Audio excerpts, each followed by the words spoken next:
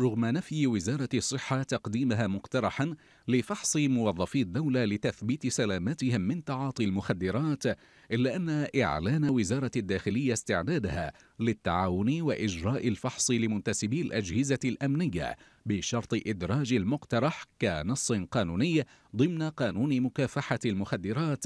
يفتح باب التساؤلات بشأن حجم الكارثة التي تحاول الحكومة التعتيم عليها.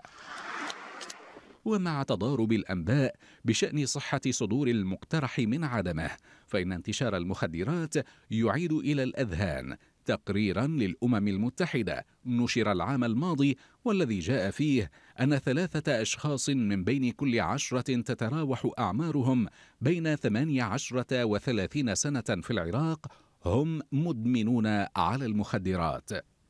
وأكد التقرير أن واحدا من بين كل ثلاثة منتسبين في القوات الأمنية يتعاطى مادة مخدرة ويرجع التقرير أسباب انتشار هذه الظاهرة إلى قلة الرقابة والمتابعة وتورط شخصيات متنفذة في الدولة بدعم تجار المخدرات وتقديم التسهيلات لهم.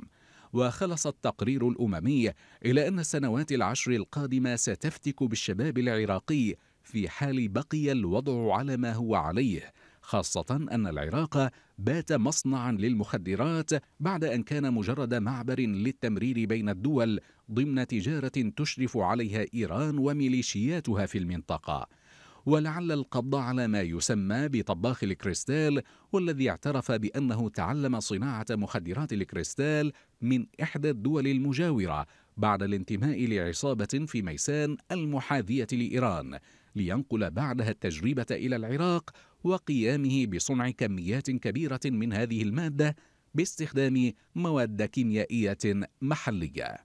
آفة المخدرات لم تعد مجرد ظاهرة تحذر منها المؤسسات الرسمية والحقوقية، إنما باتت عدوا ينتشر بضراوة بين فئات الشباب على وجه الخصوص والحرب معه أصبحت شرسه بأرقام مخيفة حصدتها مكافحة مديرية المخدرات بضبط قرابة 14 مليون حبة مخدرة ومتاجرين ومروجين ومتعاطين خلال أول ثمانية أشهر من العام الحالي حيث يقدر عدد من ألقي القبض عليهم بنحو 13 ألف شخص بين تاجر ومتعاط فيما تكتظ سجون ومراكز الاحتجاز جنوبي العراق بأعداد ما عادت تستوعبها. الزنازين